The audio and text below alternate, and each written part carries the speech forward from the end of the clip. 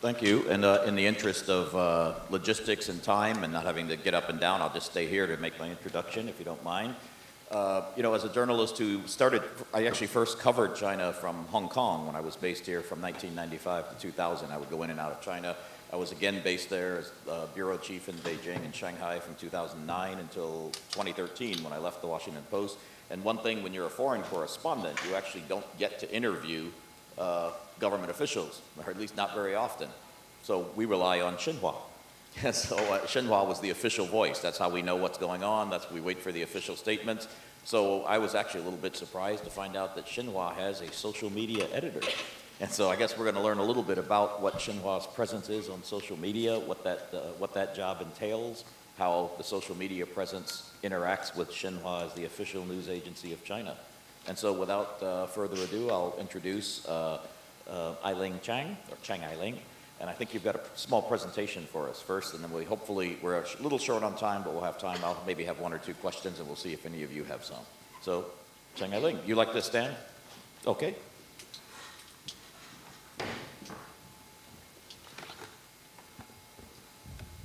Thank you, Keith, for your kind introduction. Good morning, everyone. Uh, I'm very honored to be the last speaker of this marvelous conference, and I know we've been sitting here all the morning, so thank you very much for not giving up on me.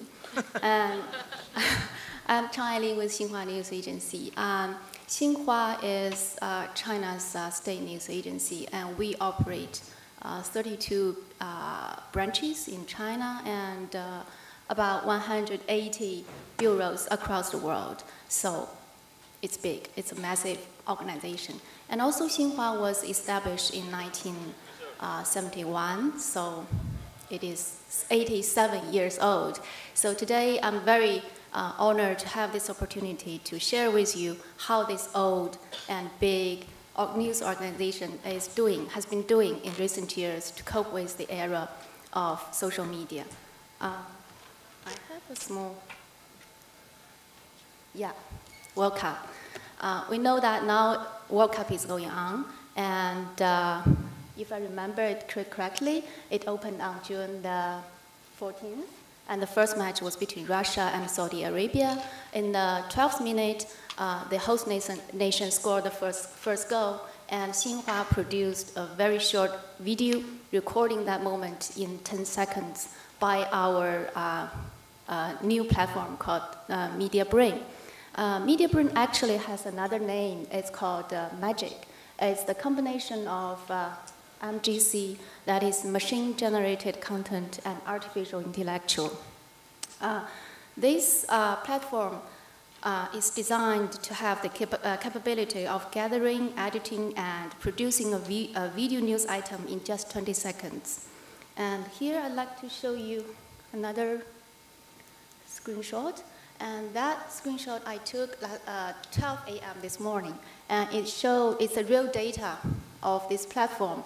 Uh, it showed that so far, since the World Cup opened, Xinhua has produced 23,000 videos by using this uh, media brain platform.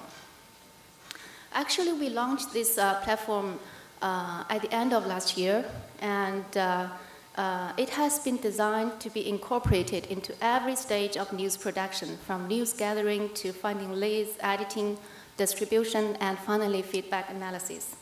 Uh, we, put into, we put it to use in March to aid our coverage of China's two sessions. Uh, I think many of you may have heard of it, two sessions, uh, China's National People's Congress and the Chinese people, uh, the Chinese people, People's Political Consultative Conference uh, the most important annual political events. And usually there will be piles of government documents and thousands of proposal, uh, proposals from the lawmakers. So a lot of work for our reporters to do. So when we uh, tried, when we announced that we will put this into uh, into use for our coverage for the two sessions, our reporters were actually a little bit curious. We want to see whether it could help us, you know, relieve our reporters of those some uh, grunt work. And uh, so here, my colleagues actually made a, a short video uh, trying to find out how this platform was being used for the two sessions and what the reactions from our reporters. And here I'd like to show you. Uh, it's quite long, it's five minutes, so I will only play the first part. Just click it, okay?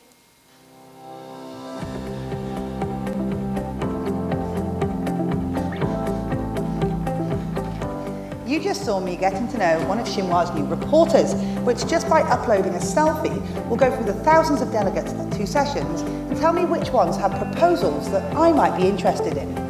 Now this reporter doesn't need a lunch break, doesn't need to stand in line, and in fact doesn't even need to leave the office at all. This is one tool made by Media Brain, which is Xinhua's AI-assisted reporting program. MediaBrain has made eight videos over the past few weeks. Thousands of documents, reports, photographs and articles are produced at political events like the two sessions. And MediaBrain has been busy collecting this data, scanning images and crunching numbers, basically so we don't have to. So what has MediaBrain found out and do journalists need to worry for their jobs? First up, what can it do? On March the 5th, MediaBrain identified that the word development was the most mentioned word in this year's government work report. The word in second place, reform, was more frequently used in any other work report in the past five years. So in addition to analysing all of the documents from this year, MediaBrain was also fed the reports issued since 1980. And interestingly, it identified some phrases and words that had fallen out of use in China's political lexicon Counter-revolution in yellow disappeared in 1994. Labour reform, which is there in blue, was gone by 1996. And re-education, which you can see in green, fell out of use by 2011. China has gone through profound changes over the past four decades. Imagine how long it would take to go through every single report to identify these patterns. That's why we need reporters like Mr. Xu here to help make sense of this huge repository of data. Okay, I won't allow him to speak. Okay. Uh, so here, like my colleague said in the video, uh, artificial intelligence is everywhere nowadays. At Xinhua, uh, we are exploring how we can um, fit this technology into the daily workings of modern journalism while understanding its limitations. So the media brain system is about just that. Uh, here we all know that China has the largest population of internet users. Uh, about seven, uh, 753 million people access the internet on mobile devices. So this is a, a trend. Uh, people are getting more and more aligned, reliant on mobile devices to, to, to, to, to get the access to information. So this is a, mm, a very important trend that, uh, that we can't ignore. So at Xinhua, uh, as an old and traditional news agency, we are implementing a mobile-first strategy, pooling our resources, technology, strengths, to uh, use mobile devices to reach out to our audience. Here I'd like sh to share your story with you. Okay. Uh, uh, on June 21st, uh, Xinhua released a news item on our WeChat account. Uh, we all know that, that WeChat is a multi-purpose messaging, social media, and mobile payment app, and it has about 1 billion monthly active users. So Xinhua has an account on WeChat. And on that day, we uh, post this news item on our chat, WeChat, and the title goes, just in Saudi Arabia's crown prince deposed. So in Chinese, the title is only, has only nine characters, but this post has view of 8 million and reposts uh, 480, uh, 60,000 and had comments for more than uh, 70,000 within 30, uh, 36 hours. How could that be? Um, often uh, reporters and, and editors with news agency, we don't interact with uh, our readers directly. Uh, when we first established our social, our presence on social media, we actually follow that rule of not replying to comments. But in this case, this rule was broken. Here is why this post went viral on China's social media. Uh, we could see that one comment was liked by readers uh, for you know, more than 100,000 times, and our reply was liked. You, you, you, can see the numbers too complete for me to, to, to pronounce. And the, the, the comment uh, reads, only nine characters and you need three editors. That's the comment. And Xinhua replied, yeah, the first editor, editor is responsible for Just In. And the second uh, editor is responsible for Saudi Arabia's crown, crown prince. And the third responsible for the post. Any problems? And three question mark. So this reply triggered heated discussions, not only online, but also in the newsroom. Some of our more seasoned staff felt it really unaccept, uh, unacceptable. I remember one individual telling me that uh, this is really outrageous. And how could our reporters be so rude, so disrespectful to our readers?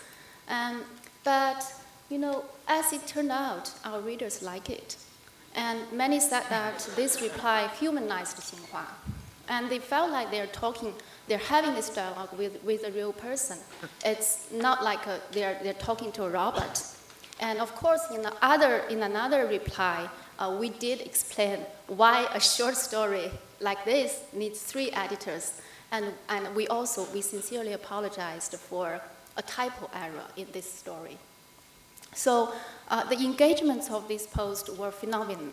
And we gained, because of this single paste, our WeChat account gained 500,000 more subscribers. And we currently have, for, for WeChat account, Xinhua currently has uh, uh, 6 million subscribers. And by the way, the three editors for this post, the three editors, they were all in their 20s. And uh, they were awarded an annual award uh, of Xinhua by our editorial leadership. And, and still, they are running uh, our Xinhua WeChat account. So uh, this is about our WeChat account. Another, okay, another of our mobile platforms is Xinhua News app. We launched the current version of Xinhua News in 2015. To date, it has been downloaded uh, uh, 280 million times. It offers breaking local, uh, national, and global headlines and features a customer, customized newsfeed. Mm. The app also offers a category called Uh, On the Scene. It integrates live streams, text broadcast, photos, and videos. So here is a screenshot shows um, a live stream of the summit between leaders of uh, North Korea and South Korea. Uh, from the screenshot, we can see that this live stream was watched by more than 1.5 million people. And if you scroll down, uh, you could see text reporting, photos, videos beneath this live, live streaming. Hmm. So uh, in 2017, Xinhua News App hosted more than 1,200 such live streams. Besides Xinhua News, we have another news app called Xinhua Cloud. This, the name was translated by myself. My colleague doesn't like it because we don't have an English name for it. In Chinese, we call it Xinhua Yun. Uh, oh, Xianchang Yun, sorry. It's a free editing app for mobile devices, which was launched in February last year. And it enables a reporter to do live streaming, filming, online video editing, and distributing all with a cell phone. More than uh, 2,500 news organizations and institutions across China have registered on this app, and more than 18,000 journalists are our registered users. And every day, more than 200 live streams were pushed out on this, on this app. It provides local media outlets to uh, a, national platform to distribute content across China. So um, Xinhua is also uh, trying to reach out to our foreign audience too. Uh, in 2015, we officially launched, uh, launched the new China accounts on Twitter, Facebook, and YouTube.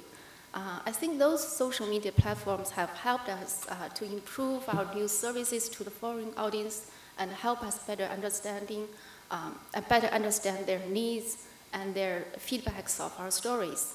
Um, last year, uh, we delivered more than 800 live streams uh, on Facebook, on Twitter, on the topics ranging from uh, US President Donald Trump's visit to China, and also uh, like uh, the, uh, the, docking between Tianzhou 1 cargo carrier and Tiangong-2 Space Lab in orbit, and also earthquake revenue, and of course, pandas. Uh, so that's all for my uh, presentation. I know it's very quite, it's quite late and we still have some very interesting groups uh, discussion waiting. And uh, in the end, I would like to uh, thank you very much, Susan, for the invitation, and also thank East West Center for this uh, marvelous conference. Thank you all.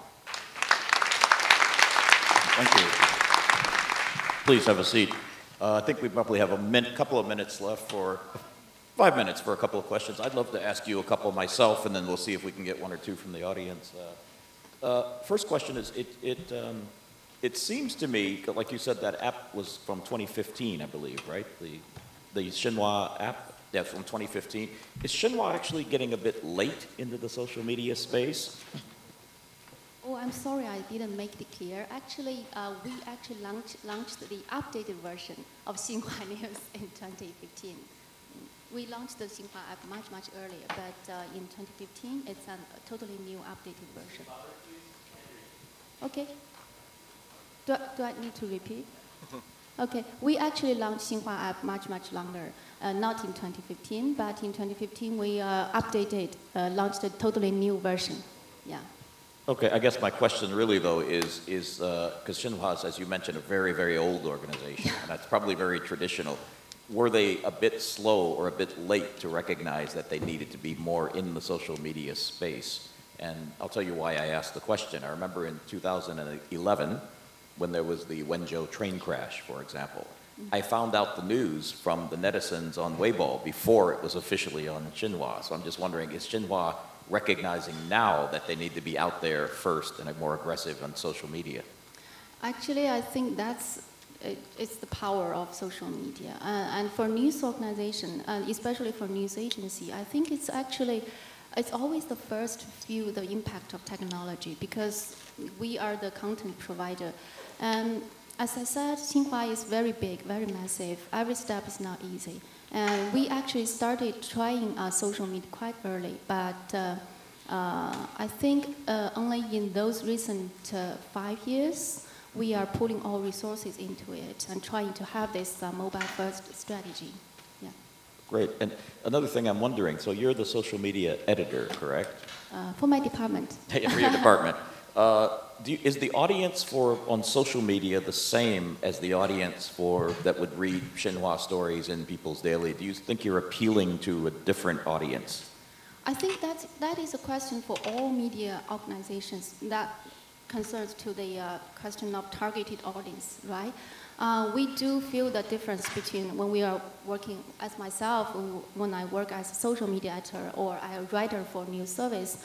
Um, for example, while I was a journalist, uh, like writing stories on the health beat or education beat, I, what I need or what I think about is I just need to write a story and deliver a good written story. But while I was working on social media, my first, uh, when I picked the story from Xinhua's uh, news wires, I would, I, my first, uh, you know, criteria or standard is, is it interesting? Or does it make sense?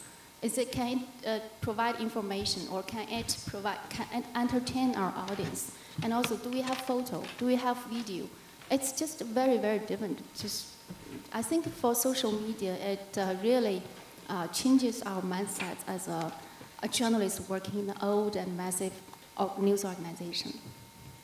And uh, has Xinhua on social media or on mobile platforms been breaking stories? Because I seem to recall when the, the term limits were changed last year. I seem to recall that actually came out on social media before it was kind of official.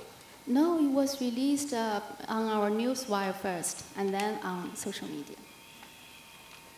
And, uh, uh and just one more question for me, because I'm kind of curious about it. Uh, I noticed that uh, there's a lot more in English now, um, especially there's even a Xinhua Twitter account even though I can't get Twitter when I'm in China, I can see Xinhua on Twitter. Is there an a, a, a active attempt to appeal to now more of a foreign and international audience? Um, as I said, uh, Xinhua is a state news agency, but we, all, we are also an international news agency because we have 180 bureaus across the world and we provide news services in eight languages. So we have a lot of readers across the world. And like Twitter and Facebook, they are powerful social media platforms and people get information from it. And as a news organization, it's our responsibility to reach out to our audience. Oh, okay.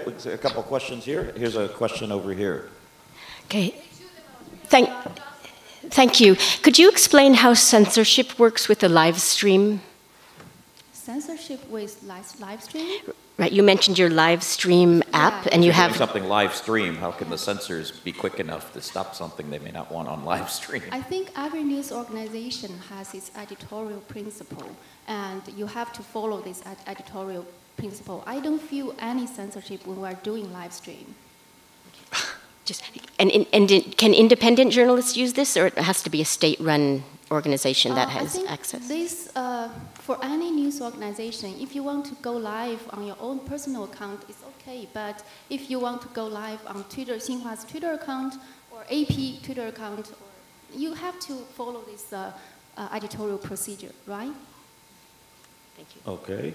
I see Tom Grundy in the middle has a very friendly Hi. question. Tom, yeah. Okay, Tom from Hong Kong Free Press. Um, we and this year the New York Times have published evidence that Xinhua paid for hundreds of thousands of fake followers and retweets on Twitter. Can you explain this misuse of Western social media platforms that are censored in the mainland?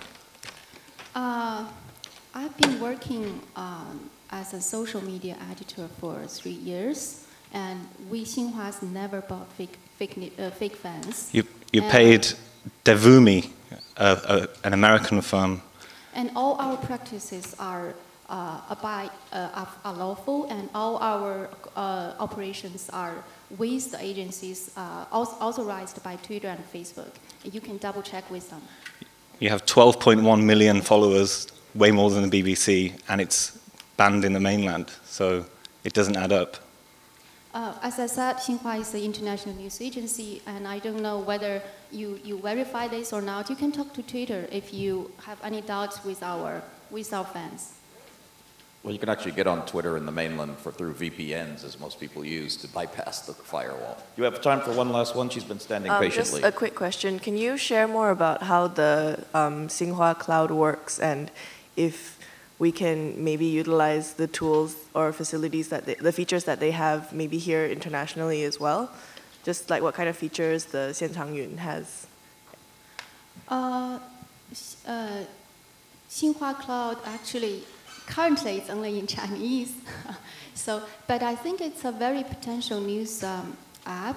Uh, apart from it's a free online editing app, it also offers uh, a national platform for our uh, local media outlets. As we all know that many Chinese local media, uh, media outlets when we are having this discussion, they all say that they have this uh, difficulty of developing their own news app due to financial pressure or you know all those uh, financial problems. So this news app offer them a very convenient tool. Offer them and their reporters, they can go live, they can go online editing, distributing. They do not need to develop their own news app. That's the one strength of this news app. And for the other, I think it also pro- provide uh, a national platform because on this platform, I think uh, just on the screen you could see that all the contents were from our local, uh, all local media outlets like uh, in Sichuan, in Guangdong. Um, they have this platform to di- distribute their content to audience across China. And also, uh, Xinhua is helping to get those uh, content. You know, we use those uh, content. We, uh, if their quality is good enough, and we will release it from our news wire provided to our clients. So it's a win-win um, solution, I think. Well, I think that's about all the time we have for. I want to really thank you, though. I thought one of the most interesting things was the media brain, where you could find these terms and how some old terms fall out of use and new terms are coming It's only a in. very, very small part of its job. Oh, I'd love to use that one more. I want to see how, I want to see if that term, hurting the feelings of the Chinese people, is ever going to fall out of use. Maybe we will work on that. Work on that one for us. I want to thank you for coming up here and braving the uh, slings and arrows and telling us all the great things that Xinhua is doing. Thank you very much. Thank you very much.